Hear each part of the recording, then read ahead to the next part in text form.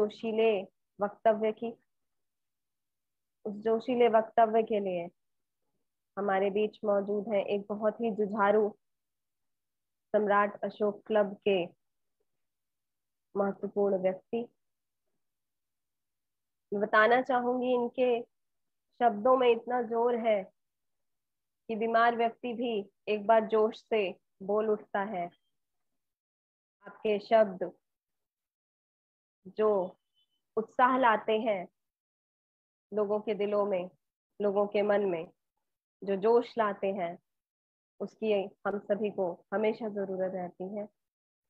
मैं आमंत्रित करना चाहूँगी सम्राट अशोक क्लब भारत के राष्ट्रीय प्रवक्ता जी को।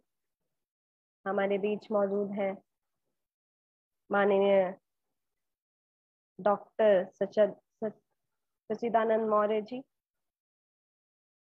आपके प्रखर स्वर जो जोश का आवाहन करते हैं हम सभी के दिलों के भीतर, आपके सम्मान में जितना कहा जाए उतना कम है, डॉक्टर साहब। फिर भी दो शब्द रखने की गुजारिश करती हूँ कि नभ गगन आसमान, आन सबके सब आकाश हो गए। नभ गगन आसमान सबके सब आकाश हो गए। गौतम बुद्ध जब सूर्य हुए, आप सूर्य का प्रकाश हो गए। आमंत्रित करना चाहेंगे मंच पर। सम्राट अशोक क्लब भारत के राष्ट्रीय प्रवक्ता माननीय डॉक्टर शशिदानंद मौर्य जी को। स्वागत है। सम्राट अशोक क्लब के राष्ट्रीय अध्यक्ष डॉक्टर दीनानाथ मौर्य जी, सम्राट अशोक क्लब के महासचिव, सम्मानित शत्रुघ्न साकी जी, राष्ट्रीय उपाध्यक्ष जेपी वर्मा जी, महाप्रबंधक doctor R P Maurya ji और हमारे बीच अतिथि के रूप में हमारे बीच उपस्थित हैं। বাংলাদেশ থেকে এসছেন আমি আপনাকে অভিনন্দন জানাচ্ছি লয়ন দুলাল বড়ুয়াজি অনেক জনের অনেক কথা আপনাকে এক লাইন প্রেসিত করছি অনেক জনের অনেক কথা অনেক জনের হাসি আমার শুধু একটি কথা তোমায় ভালোবাসি तो मैं यहाँ से अपना अपना जन्म কোনো শব্দ নেই कि এত ভালো हिंदी कथा दे पी समझाए बहुत अच्छा लगा थैंक यू और हमारे बीच महेंद्र जी बॉम्बे से जुड़े हुए हैं आप बड़े इतमान से सारे कार्यक्रम को देख रहे हैं सुन रहे हैं सम्राट अशोक क्लब की तरफ से हृदय की गहराइयों से और नेपाल से बड़ा खुशी हुई आज कि भगवान बुद्ध की बातें हम जहाँ से सुनते हैं रुमिन रुमिन देई नाम सुना करते थे हम लोग। सम्राट अशोक का शिलालेख की बात सुना करते थे, लुम्बिनी की बात सुना करते थे, लेकिन आज उस पवित्र भूमि से कितना सुंदर ये टेक्नोलॉजिकल युग है कि आप कहाँ हैं, हम कहाँ हैं, एक दूसरे देश से हम लोग एक इतनी आसानी से जुड़ पाए हैं। मैं सम्राट अशोक क्लब की तरफ़ से सम्मानित आर के साख जी को बहुत बहुत अभिनंदन। स्वागत करता हूँ इस भारतवर्ष की भूमि पर। आप आए, हम सबका सौभाग्य है, ये सब संजोग है और मैं एक तरह से कोरोना से हम लोग पीड़ित तो है ही हैं, लेकिन कोरोना भाई साहब को धन्यवाद देता हूँ कि उसकी वजह से परिस्थितियाँ बदली है और हम लोग एक दूसरे से जुड़ पाए हैं, नहीं तो आप कहाँ, हम कहाँ होते। तो सर, बहुत बहुत सम्राट अशोक क्लब की तरफ़ से आपका अभिनंदन करता हूँ, स्वागत करता हूँ। और हमारे बीच में ज्ञानादित साक्य जी, प्रोफेसर साहब जुड़े हुए थे।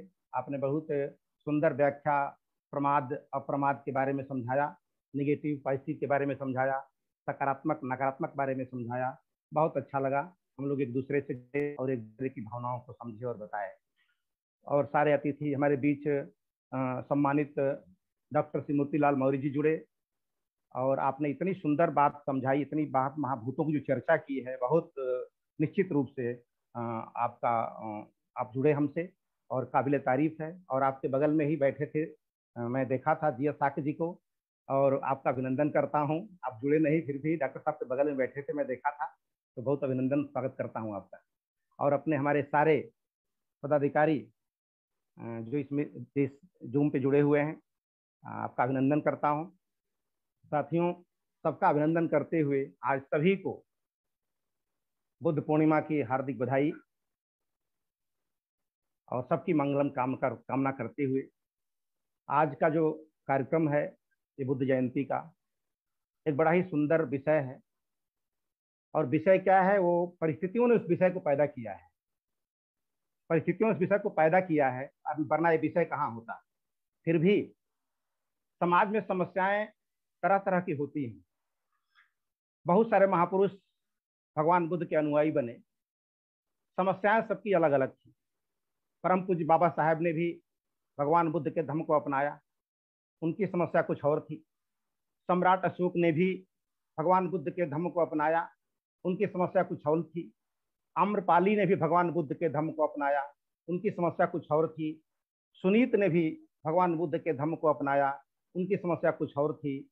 मतलब अलग अलग समस्याओं के लोग अलग अलग प्रॉब्लम के लोग भगवान बुद्ध को अपनाए। इसका मतलब ये हुआ कि समस्याएँ चाहे जो भी हों, समाधान भगवान बुद्ध के पास सबका है। समाधान भगवान बुद्ध के पास सबका है। उसकी वजह यह है कि भगवान बुद्ध का जो धम्म है, वो नेचुरल है, प्राकृतिक है।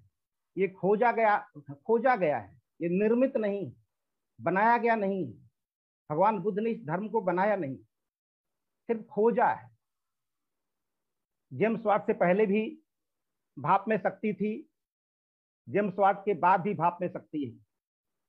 न्यूटन से पहले भी गुरुत्वाकर्षण का पावर था, न्यूटन के बाद भी गुरुत्वाकर्षण में पावर है। तो ये सब जो पावर है, जो शक्ति है, उसको पहचान लिया इन लोगों ने। उसी तरह भगवान बुद्ध का जो धर्म है एकदम प्राकृतिक है, नेचुरल है। और यह कार्य और कारण के सिद्धांत पे चलता है। कार्य और कारण के सिद्धांत पे चलता है। इस दुनिया में सभी चीज़ें एक दूसरे से जुड़ी हुई है। हम ये ना समझे कि हम अलग हैं। एक दूसरे दूसरे अलग है, ऐसा कुछ नहीं। हर लोग एक दूसरे से जुड़े हुए हैं। पूरी वसुधा एक परिवार की तरह। चाहे पेड़ हो, पौधे हो, जानवर हो, जीवाणु हो, दृश्य हो, अदृश्य हो, सब एक दूसरे से जुड़े हुए हैं। और जब जुड़े हुए हैं तो ज़ाहिर है कि हमारे घर अगर दुख होगा तो पड़ोसी भी प्रभावित होगा। पड़ोसी घर अगर दुख होगा तो हम भी प्रभावित होंगे। ऑक्सीजन की कमी अगर दूसरे देशों में होगी तो उससे हम भी प्रभावित होंगे। हमारे देश में कमी होगी तो दूसरे भी प्रभावित होंगे। कोरोना कहाँ से पैदा हुआ और कहाँ कहाँ के लोग प्रभावित हो गए? इसका मतलब ये हुआ कि हम सब एक दूसरे से जुड़े हुए हैं। पूरी वसुधा एक परिवार है। अर्थात हमें खुश रहने के लिए पड़ोसी का खुश होना बहुत ज़रूरी है। पड़ोसी को खुश रहने के लिए हमारा खुश होना बहुत ज़रूरी है, क्योंकि हमारा परिवार और पड़ोसी दोनों एक दूसरे से जुड़े हैं। हमारी खुशी उनकी सेहत से जुड़ी है, उनकी खुशी हमारे सेहत से जुड़ी हुई अगर ऐसा नहीं होता, एक परिवार में कोई व्यक्ति बीमार पड़ रहा है तो पूरे परिवार के लोग परेशान क्यों हो जा रहे हैं? एक एक आदमी को खुशी होती है तो पूरे परिवार के लोग खुश क्यों हो जाते हैं? इसका मतलब हमारी खुशी और हमारे गम दोनों एक दूसरे से जुड़े हुए दोनों एक दूसरे को प्रभावित करते हैं। इसलिए हमारी ज़िम्मेदारी है कि इस कोरोना काल में अगर हमारा पड़ोसी दुखी है तो हम वो दुखी न रहे, उसके दुख को हम शॉर्टकट कैसे करें, उसके दुख को कम कैसे करें, उस पर हमें काम करना चाहिए। उसको अपने व्यवहार से ही, क्योंकि इसी दौर में ही पता चलता है कि कौन अपना है, कौन पराया है। क्योंकि परिस्थितियाँ जब तक विपरीत नहीं होती हैं तो पता नहीं चलता कि कौन हमारा है, कौन अपना पराया है। आज कोरोना ने एक ऐसा माहौल बना दिया कि अच्छे अच्छे लोग अपनों को छोड़ के भाग गए। अपनों को ही छू नहीं पाए और अपने ही, अपने को देख छूने में डरते हैं, भयभीत होते हैं। तो ऐसे परिस्थिति में हमको परिस्थितियाँ नहीं बदलने वाली हैं। परिस्थिति जैसी है, वैसी ही रहे। और इस भ्रम में ना रहें कि ये परिस्थितियाँ बदलने वाली हैं। या कोरोना कुछ समय के लिए आया है, चला जाएगा। ये दुनिया में जो एक बार आ गया, वो जाता नहीं है, उसकी तीव्रता कम होती है, उसकी तीव्रता बढ़ घट सकती है, लेकिन जाते नहीं। मच्छर दुनिया में आया तो चला गया क्या? नहीं गया। उसके साथ हमने जीना सीख लिया। मच्छर के साथ हमने जीना सीख लिया। गर्मी आई तो गर्मी आई तो गई नहीं। गर्मी के साथ हमने रहना सीख लिया। जाड़ा आई तो जाड़ा के साथ हमने रहना रहना सीख लिया। बरसात आई तो बरसात के साथ हमने रहना सीख लिया। तो परिस्थितियाँ जैसी आई, वो अपने हिसाब से आती जाती रहेंगी। तो हमको परिस्थितियों के अनुसार अपने आप को तैयार करना है। परिस्थितियाँ हमारे अनुसार नहीं बदलने वाली। इसीलिए इस भ्रम में हम न रहें कि परिस्थितियाँ होंगी, बदलेंगी। जैसे हैं, वैसे रहेंगी। इसलिए अपने पढ़ाई का तरीका, अपने काम करने का तरीका, अपने व्यवसाय करने का तरीका अब परिवार में रहने का तरीका, सब कुछ तरीका अपने आप को बदलना होगा, चेंज करना होगा।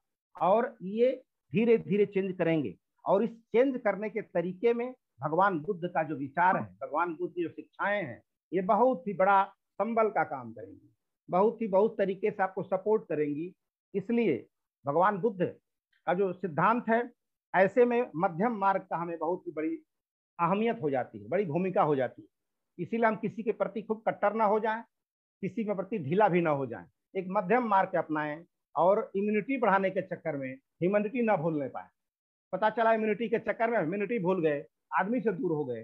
तो शरीर की दूरी हमारे लिए ज़रूरी है, लेकिन मन की दूरी ज़रूरी नहीं है। उनके मन से संपर्क में रहें, उसका उचित मदद करें, सहयोग करें।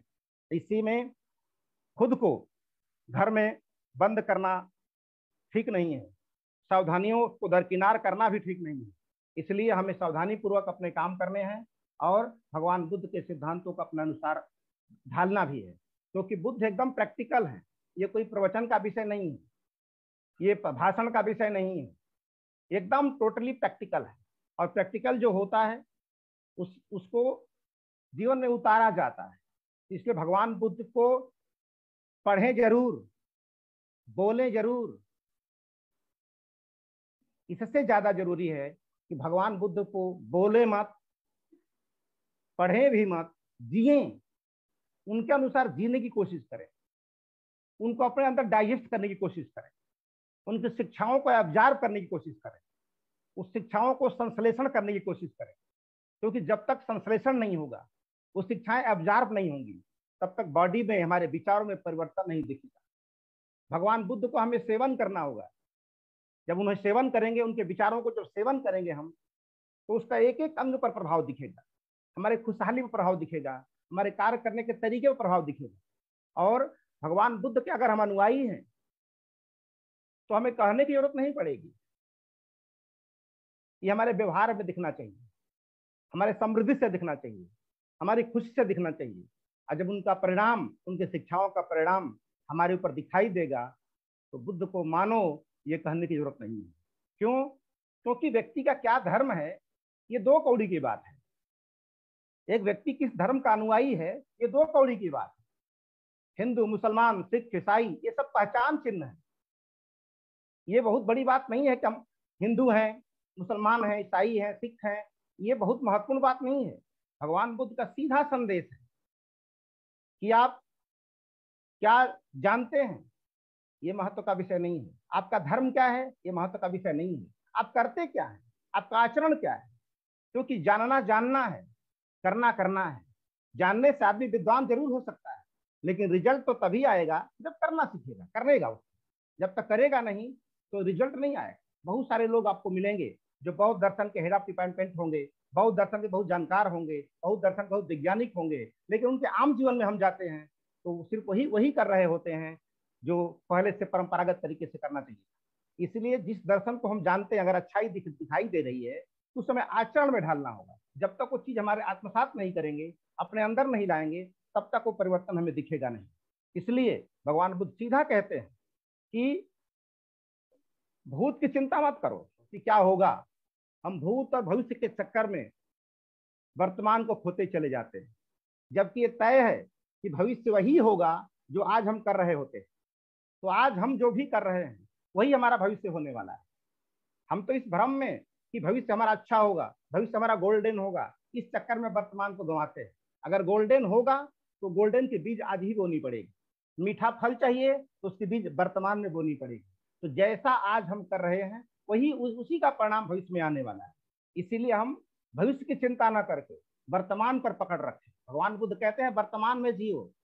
अभी का जो क्षण है वो तुम्हारा है। अभी एक क्षण बाद क्या होने वाला है ये पता नहीं। है अभी कल क्या होने वाला है हमें पता नहीं। है तो जब कल क्या होने वाला पता नहीं है लेकिन कल क्या होगा ये हम आज तय कर सकते हैं।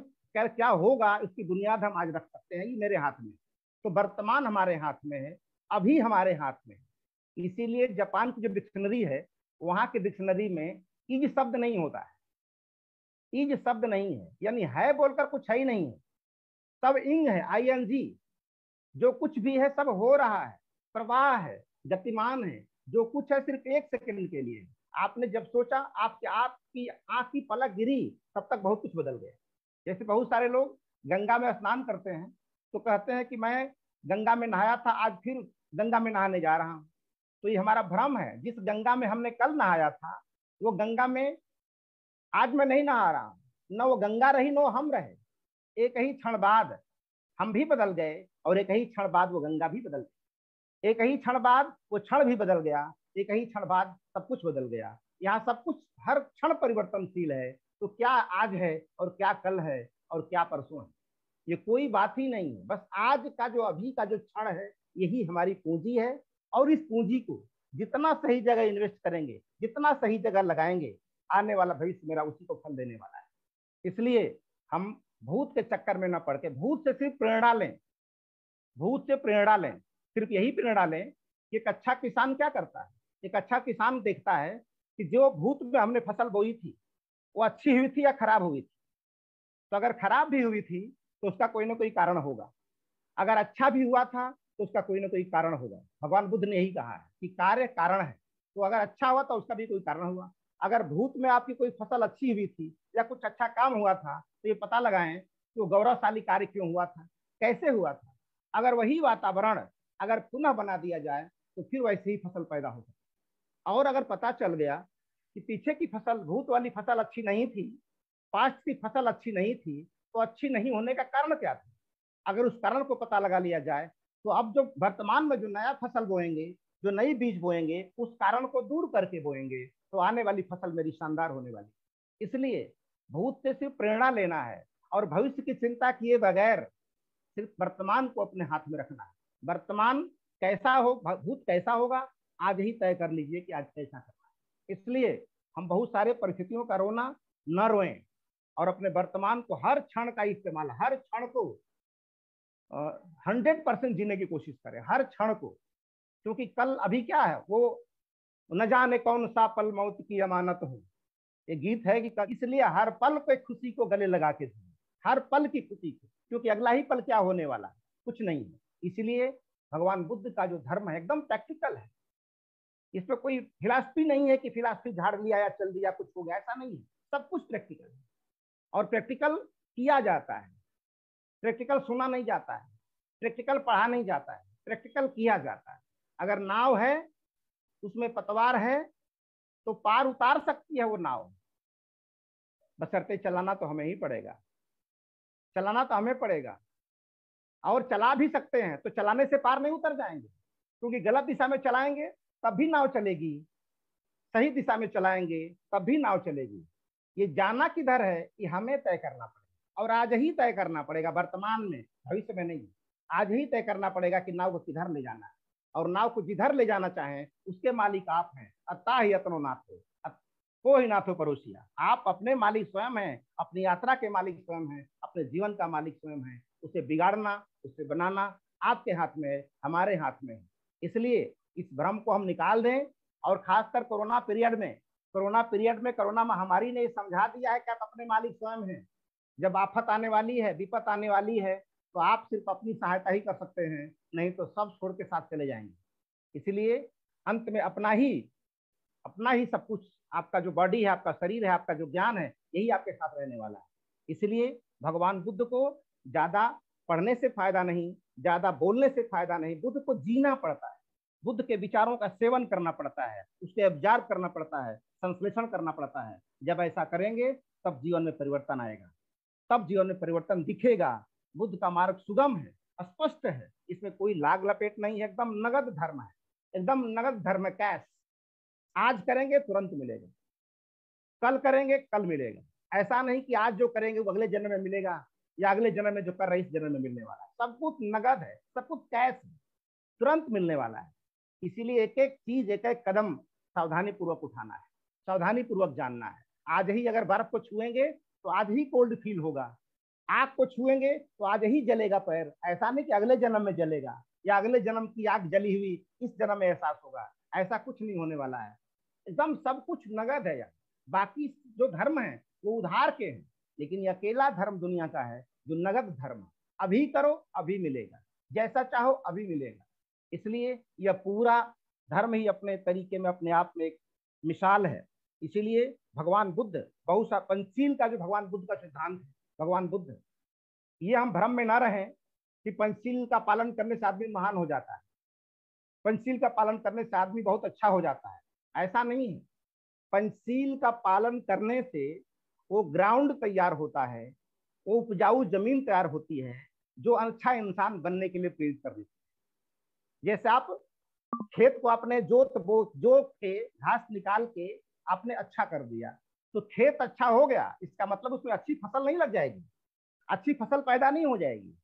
तो आप समझिए कि पंचशील एक ऐसा हल है, एक ऐसा फावड़ा है, जीवन की खेत को कोड़ कोड़ करके निकालते हैं उसके घास उसके तिनके को झाड़ झंखार को बाहर करते हैं। तो पंचशील से उस गंदगी को हम बाहर करते हैं। तो गंदगी हमने बाहर कर दिया, इसका मतलब ही नहीं कि अच्छाई भर गई हमारे अंदर। गंदगी को बाहर जब कर दिया तो आपका शरीर, आपका दिमाग अच्छाई के लिए तैयार हो गया। अच्छाई के लिए तैयार हो गया। अब अच्छाई कहाँ से आएगी? उस पर भी हमें काम करना पड़ेगा। सकारात्मक काम करने पड़ेगा। शराब छोड़ देने से हमारा स्वास्थ्य अच्छा नहीं हो जाएगा। झूठ बोलना छोड़ देने से हम अच्छे नहीं हो जाएँगे। झूठ बोलना छोड़ने के बाद हमें सच बोलना सीखना पड़ेगा। शराब छोड़ने के बाद हमें अच्छा पोषण लेना पड़ेगा। तब स्वास्थ्य अच्छा होगा। ऐसा नहीं कि शराब छोड़ देंगे तो आपका हेल्थ अच्छा हो जाएगा। उसको छोड़ेंगे तो आपका हेल्थ अच्छा बनने के लिए तैयार हो गया है बस। उसके लिए आपको फिर से तैयारी करनी पड़ेगी। उस चीज़ का तैयारी करनी पड़ेगी। तो आपके अंदर अज्ञान खत्म हो गया। इसका मतलब आप ज्ञानी नहीं हो गए। अज्ञानता खत्म हो गई। इसका मतलब हम ज्ञानी नहीं हो गए। अज्ञानता के खत्म होने के बाद हम ज्ञानी होने के लिए तैयार हो गए हैं। Ready for knowledge ready for wisdom उसके लिए हम तैयार हो गए हैं। अब विजडम के लिए क्या करना होगा? उस पर हमें काम करना पड़ेगा। वैसे ही किताबें पढ़नी होगी, वैसे ही लोगों के साथ रहना पड़ेगा, वैसे ही संस्कृति सभ्यता के अनुसार रहना पड़ेगा। जब सब कुछ करेंगे, तब जाके हमारा पॉजिटिव ठीक बनेगा, और तब जाकर अपने लक्ष्य की तरफ़ आगे बढ़ेंगे। तो भगवान बुद्ध का धर्म एकदम एक्चुअल है, एकदम सही है। इसलिए इस कोरोना महामारी में भगवान बुद्ध के धर्म की प्रासंगिकता ज़्यादा बढ़ जाती है। क्यों? क्योंकि जो कलिंग का जो वार हुआ था, उसमें बहुत सारे लोग मरे थे। कुछ लोग मारे गए थे, कुछ लोग महामारी से मर गए थे, कुछ लोग बंदी बना लिए गए थे। तो आपको नहीं लगता कि जो कलिंग के मैदान या उसके आसपास जो माहौल रहा होगा, लगभग वैसा ही माहौल कोरोना पीरियड में हो गया है? उस युद्ध में भी बहुत सारे लोगों ने अपनों को खोया था। अपने माँ बाप खोया होगा, अपने बच्चों को खोया होगा। उसी तरह आज भी वैसा ही हो रहा बस अंतर इतना है कि उस समय युद्ध कारण था। आज एक वायरस, एक विषाणु उसका कारण है। तो आदमी जब दुनिया से जाता है तो दुख तो ऐसे ही पैदा होता है। तो जब दुख पैदा होता है तो एक दुख का माहौल, एक अवसाद की स्थिति बन जाती है। एक अवसाद एंजाइटी की स्थिति बन जाती है। और उस स्थिति से निपटने के लिए भगवान बुद्ध के जो संदेश हैं, वो तो बड़ा ही कारगर सिद्ध होते हैं। और इस पीरियड में और क्या है? सिर्फ़ मरना ही दुख का कारण नहीं होता है। धंधे बर्बाद हो रहे हैं, रोज़गार बर्बाद हो रहे हैं, सब परिस्थितियाँ विपरीत होती जा रही हैं। ऐसे में मन को अपनों को खोने का भी अपने धंधे को खोने का भी आवश्यकता की चीज़ों को न पाने का भी बहुत सारी चीज़ें हमारे मन को दुखी करती है। और इस दुख को, यथार्थ को जाना है, क्योंकि दुख है तो दुख का कोई कारण है। और कारण को अब नहीं जानेंगे तो भ्रम में पड़े रहेंगे। नहीं तो आप तैयार रहिए। अभी इस दुख के कारण के लिए भ्रमपूर्ण तैयार माहौल भी देश में किया जा रहा है। तरह तरह के भ्रमपूर्ण देवी देवता पैदा किए जा रहे हैं। तो ये सब चीज़ों से भी हमको तैयार रहना पड़ेगा, ताकि हम अंधविश्वास से दूर रहना। अभी मैंने सुना था कि करोना माई हमारे देश में पैदा हो गई। अब करोना माई कहाँ से आ गई, कैसे आ गई, आज तो हमारे सामने है तो हम जान गए।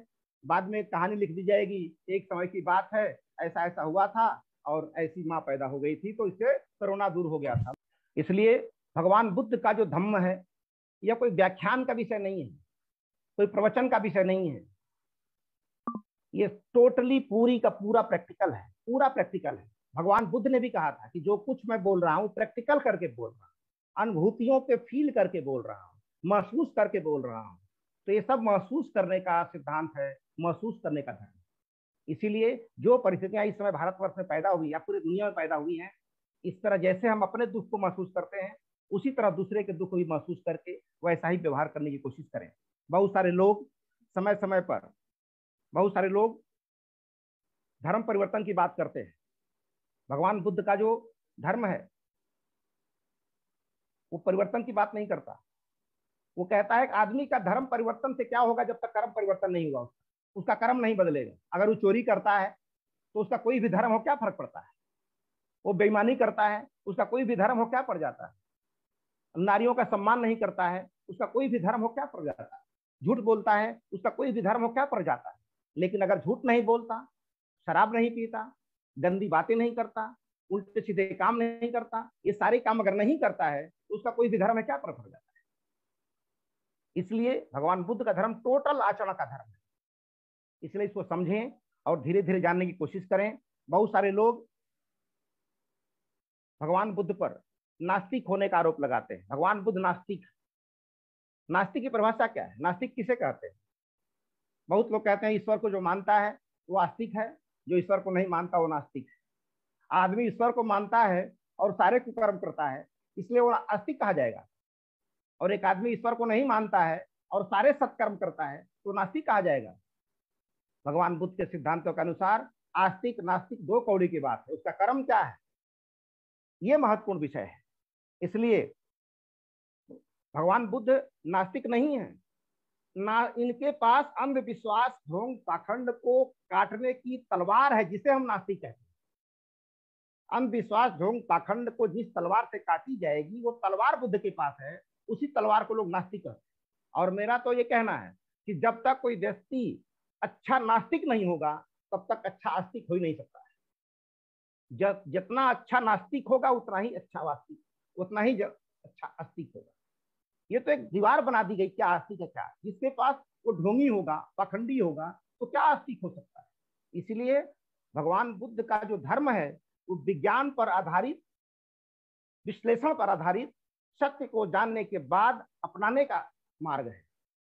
इसीलिए उनके बाद अब ये आप अंधविश्वास, पाखंड, भय और भ्रम को जब काट देंगे, उसके बाद जो श्रद्धा पैदा होगी, जो उसके पास उसके बाद जो आस्था पैदा होगी वो आस्था महत्वपूर्ण होगी, वो कीमती होगी, दमदार होगी, दाम, दमदार होगी तो दामदार भी होगी। इसीलिए जब हम खेत में कोई बीज बोते हैं तो बीज बोने से पहले क्या करते हैं? अच्छी फ़सल बोना होता है किसी खेत में तो सबसे पहले उसके घास उखाड़ते हैं, फिर जो उसके, जो घास खुद साफ़ करते हैं। जब हम घास को काटते हैं उस समय तो हम निर्दयी नहीं है क्या? घास को जब हम काटते हैं तो हम तो निर्दयी हो गए। हम तो नास्तिक हो गए, क्योंकि हम उस घास को काट रहे हैं। लेकिन हम किस लिए काट रहे हैं? उस खराब घास को काट करके अच्छी फ़सल लगाने के लिए हम तैयार हो रहे हैं। तो जब तक वो काटेगा नहीं तो अच्छी फ़सल लगाएगा कैसे? अगर अच्छी फ़सल लगा भी दिया तो फ़सल आगे नहीं बढ़ पाएगी, विकसित नहीं हो पाएगी। इसीलिए किसी व्यक्ति को सच्चा आस्तिक होने के लिए नास्तिक होना बहुत ज़रूरी क्योंकि जब तक उसके पास विश्लेषण करने की क्षमता नहीं होगी, तब तक वो अच्छा संश्लेषण नहीं कर सकता अच्छी चीज़ों को ग्राह्य नहीं कर सकता। इसलिए भगवान बुद्ध के पास जो नास्तिकता की तलवार है, उससे वो पाखंड के अंधविश्वास के भ्रम का खात्मा करते हैं। इसीलिए वास्तविकता के तलवार से काट करके, अंधविश्वास पाखंड को खत्म करके उस अपने खेत में बीज डालो। तब जाके जो फ़सल पैदा होगी, वो जब दमदार होगा। इसलिए शोध के बाद जो श्रद्धा पैदा होती है शोध के बाद जो श्रद्धा पैदा होती है, उसी की कीमत होती है। अंधी श्रद्धा किसी काम की नहीं होती, विवेकहीन श्रद्धा किसी काम की नहीं होती। और विवेकहीन श्रद्धा जब रहेगी तो कुछ भी नहीं हो सकता है। इसीलिए हम सब आज बड़ा अच्छा लगा है कि इतने महत्वपूर्ण गेस्ट हमारे बीच जुड़े हुए हैं, बांग्लादेश से जुड़े हुए हैं, नेपाल से जुड़े हुए हैं। कितना अच्छा ये भगवान बुद्ध का देन है। हम लोग कितना सौभाग्यशाली हैं कि भगवान बुद्ध से जुड़ने का ही मतलब हो गया कि पूरी वसुधा हमारी परिवार बन गई। पूरी वसुधा को एक परिवार की तरह देखने लगे। इसलिए आप सभी का अभिनंदन करते हुए, बधाई देते हुए, अब मैं इस कार्यक्रम में जुड़े हुए सारे लोगों को, आप लोगों ने इतने देर तक सम्राट अशोक क्लब के द्वारा जो आयोजित कार्यक्रम है, आप लोगों ने सुना है, बड़े इतमान से। बहुत अच्छा लगा कि परिस्थितियाँ हमारी बाधक नहीं हुई। हम सब एक दूसरे जुड़े इसलिए हम अब इस कार्यक्रम को सफल बनाने में जो पूरी सोशल मीडिया टीम है, जो आज कई दिनों से ट्रेनिंग दे रही थी, उस सबको विशेष रूप से बधाई। और जो लोग इस दूर से फेसबुक पे लाइव सुन रहे हैं, बहुत बहुत धन्यवाद आपको कि आप यहाँ न रहकर भी आप इस कार्यक्रम से वंचित नहीं हो, नहीं हुए। आपको ये कार्यक्रम का लाभ मिल रहा है। इन्हीं चंद बातों के साथ आप सभी को फिर से बधाई देते हुए और हमारी संचालिका दीप नहारिका को बहुत ही सुंदर संचालन के लिए बधाई देते हुए आप सभी का स्वागत करते हुए धन्यवाद। Thank you ji. जैसा आपके बारे में लिखा जाता है, पढ़ा जाता है, कहा जाता है, वो शत प्रतिशत सत्य मालूम होता है जब भी आपके प्रखर स्वर निकलने शुरू होते हैं मुख से। तो पता चलता है कैसे वो जोश भर देता है जन जन के अंदर, हर मन के अंदर।